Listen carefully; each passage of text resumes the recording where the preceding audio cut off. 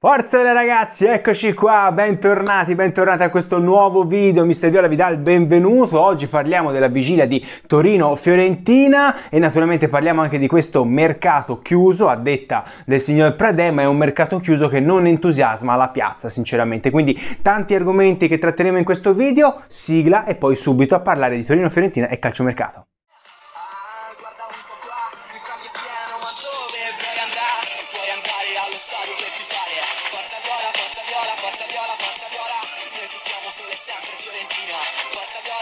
ahora, por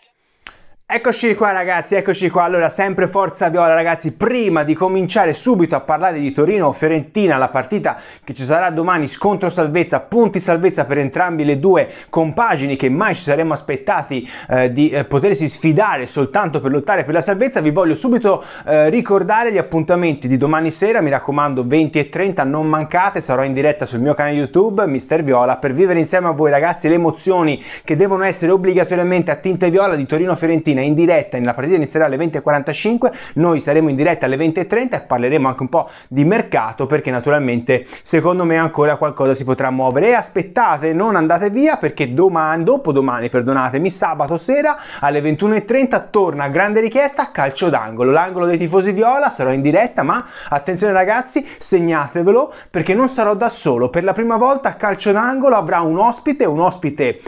importante che voi tutti conoscete naturalmente, vi dico solo che è un tifosissimo viola che non vive in Italia, ma non dico altro perché tanto uscirà il post che vi darà ulteriori informazioni. Quindi mi raccomando, weekend calcistico a tinte viola con il vostro amico Mister Viola venerdì sera a Torino Fiorentina il giorno dopo per il sabato sera calcio d'angolo. Mi raccomando ragazzi, come fare a non perdere questi appuntamenti? Beh, è, è, è facilissimo ragazzi, molto semplice. Iscrivetevi al mio canale YouTube Mister Viola, attivate la campanella proprio per non perdere tutti i miei contenuti. Naturalmente condividete il video video con tutti i vostri amici tifosi viola e ragazzi lasciate un bel like per sostenere il canale. Naturalmente mi trovate su Instagram e Facebook, iscrivetevi, seguitevi e vi lascio il link in descrizione dei miei shop online. Bando alle ciance ragazzi, parliamo di Torino-Fiorentina. Oggi ha parlato Prandelli, Prandelli è stato molto schietto, giocherà nuovamente la formazione che ha giocato con, contro il, il, Crotone, scusatemi, stavo per dire contro il Torino perché abbiamo bisogno di certezze. L'unico dubbio potrebbe, potrebbe, essere l'inserimento di Pulgar al posto di Bonaventura se Prandelli volesse un centrocampo un pochino più coperto. Naturalmente Prandelli ha detto che non siamo fuori dalla zona calda, quindi bisogna ragionare ancora da squadra provinciale, ma crederci e soprattutto essere aggressivi. Il Torino è una squadra molto pericolosa che con l'arrivo del nuovo mister sicuramente è diventata più compatta, è una squadra che dobbiamo te- temere, naturalmente Zazza e Belotti, avete visto in copertina, io ho scelto le due punte che domani sera sicuramente vorranno essere protagoniste per tirare la propria squadra alla vittoria. Ci aspettiamo e, ci, e speriamo che Vlaovic faccia un gol in più di Belotti e soprattutto ci porti alla vittoria perché domani i punti servono come l'aria perché naturalmente a 21 punti la Fiorentina, 14 punti il Torino. Sicuramente auguriamo al Torino di potersi risollevare il prima possibile da queste sorti in questo campionato, però sicuramente non deve partire da domani sera perché domani sera la Fiorentina deve sicuramente vincere. Una, una squadra che, ripeto, si presenterà nuovamente con questo 3-5-2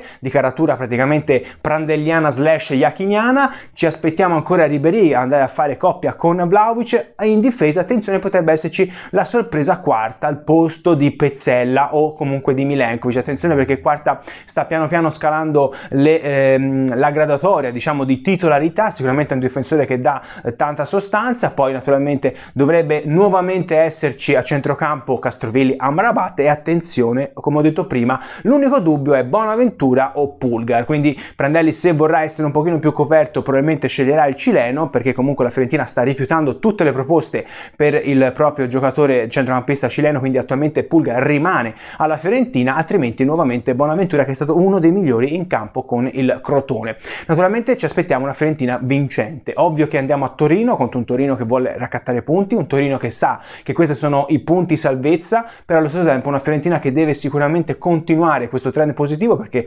naturalmente le partite che ci aspettano non sono facili, abbiamo Torino, poi Inter in casa e poi Sampdoria, un trittico di partite veramente difficile contro, squadre, contro tre squadre, perdonate perché anche il Torino è molto difficile, la Sampdoria è molto difficile, soprattutto l'Inter è uno schiacciasassi in questo momento, quotata per la vittoria dello scudetto, adesso diventa molto difficile il girone di ritorno perché purtroppo abbiamo tutte le squadre con cui giochiamo lo scontro diretto per la salvezza fuori casa e poi invece abbiamo le grandi squadre in casa, quindi una Fiorentina che dovrà essere sicuramente più quadrata, una Fiorentina doveva essere molto più collettiva e molto più cinica sotto porta. Con il Crotone non abbiamo chiuso la partita, ci abbiamo rischiato alla fine, anche se poi le occasioni vere e proprie le abbiamo sempre avute noi, però domani con il Torino dovrà essere una partita cinica, dovrà essere un gol, un tiro, un gol, un tiro, un gol, perché bisogna essere cinici là davanti, bisogna cercare di buttarla dentro e sicuramente fare un gol in più dell'avversario senza essere scoperti troppo. Credo che domani le due, le due squadre non vorranno giocare per il pareggio, credo che si studieranno, avranno sicuramente timore di aprirsi tanto, però Prandelli ha detto voglio una Fiorentina aggressiva, voglio una Fiorentina propositiva, voglio una Fiorentina che cerca di andare a fare il gol. Speriamo naturalmente che domani Prandelli riesca a plasmare la mentalità vincente di questa squadra e che la Fiorentina possa rientrare a Firenze con ulteriori tre punti su questa classifica che sinceramente non è così disastrosa rispetto a tante altre, ma vi ricordo ragazzi che veramente basta sbagliare una o due partite e ti ritrovi risucchiato nella zona rossissima di questa classifica. Ragazzi, Parliamo invece del mercato. Pradella ha detto il mercato è chiuso, la Fiorentina ha messo a segno anche il portiere giovanissimo, oggi ha messo a segno un altro colpo, un 2004, attaccante che viene direttamente alla Grecia, si fa tanta programmazione, l'ha detto anche, l'ha detto anche oggi Cesare Prandelli in, in, conferenza stampa perché gli è stato chiesto anche del proprio futuro, dice io non sarò mai un problema per la Fiorentina, io sono qua, se la città mi vorrà io rimarrò, se invece avrà altre idee io eh, capirò e mi metterò da parte, però oggi eh, sto vedendo un un calciomercato che comunque va di prospettive, quindi comunque due giocatori giovani in casa, Malè che è pagato 700.000 euro ma arriverà a giugno, Cocori per tre anni, onestamente Malè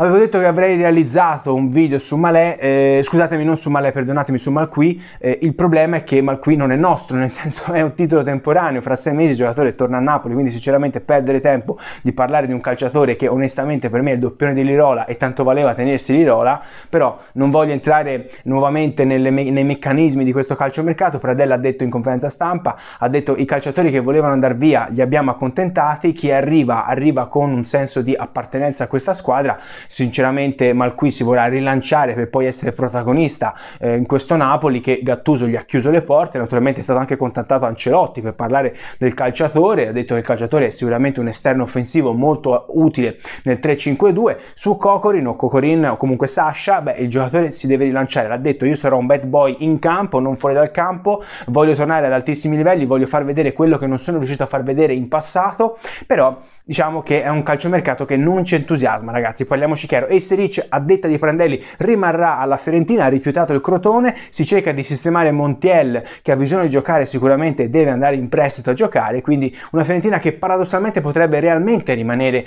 così. Spesi pochissimi soldi, bisogna essere onesti, probabilmente sono stati spesi in totale eh, più o meno 5 milioni di euro, considerando che ne ha incassati 16 per la cessione di Pedro al Flamengo a titolo definitivo e il, il milione di prestito che hai preso con Duncan. Quindi una Fiorentina che è andata molto sul risparmio. Non credo che sia colpa di Commisso che non ha voluto investire, ma credo che il mercato di gennaio riservi difficoltà oggettive nella gestione delle, delle, delle, delle trattative e sicuramente Commisso non ha voluto spendere troppi soldi perché comunque sì, si sta tracciando con qualche giocatore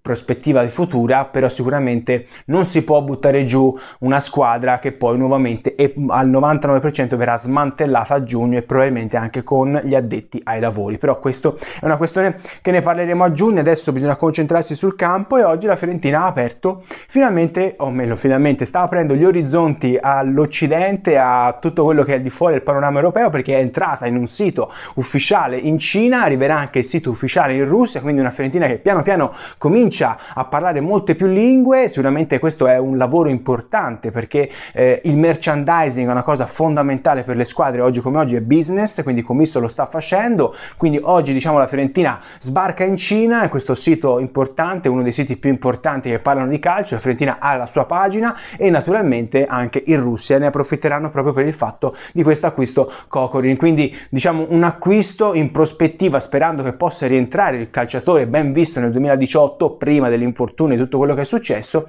e sicuramente eh, con l'acquisto anche si utilizza il marketing, il merchandising per approdare in Russia. Quindi insomma una Fiorentina che piano piano si allarga, però bisognerebbe stare un pochino più concentrati sul campo. Oggi tra l'altro si è anche parlato dello stadio, l'Empoli vende il proprio stadio, quindi dice perché non lo compra Commisso e si fa lo stadio nuovo a Empoli?